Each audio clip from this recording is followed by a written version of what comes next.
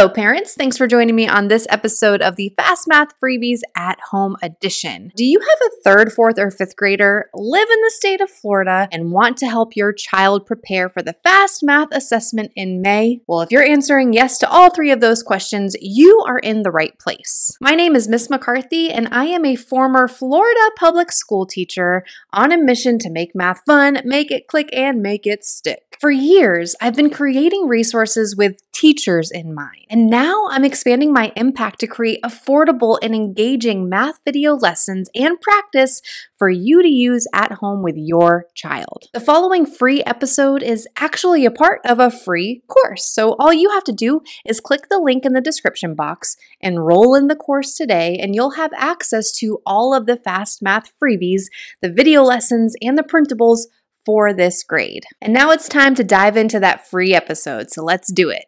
All right, fourth grade, here is your problem this week. So go ahead and pause the video, try this one on your own first, and then when you're ready to come on back and check your work, press play and come on back and check your work. I'll see you soon.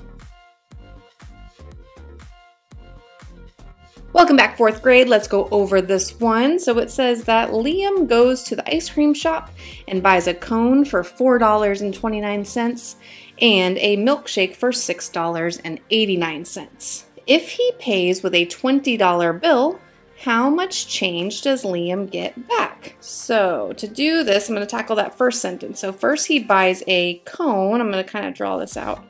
A little cone for $4.29 and a little milkshake for $6.89. So we need to take those two amounts and join them together first, really. We're adding those together, and then we can subtract that from $20. You could also start with your $20 bill and subtract each item, so the $4.29 for the cone and the $6.89 for the ice cream, I'm sorry, for the milkshake, and then you could also get your total. But what I'm gonna do first is add these two amounts together. So $4.29 plus $6.89. 9 plus 9 is 18. Woo, it's high up here. Nice landing, dude. 2 plus 8 equals 10 plus 1 would be 11. Woo, it's high up here. Nice landing, dude. Don't forget to drop down your decimal here when we add or subtract. With decimals, we need to line them up and then drop our decimal down. And then we have 6 plus 4 equals 10 plus 1 would be 11. So we have $11.18, which is an answer choice. And if I were to stop there and select that one, I would be wrong because this is the amount that it would cost for the cone and for the milkshake.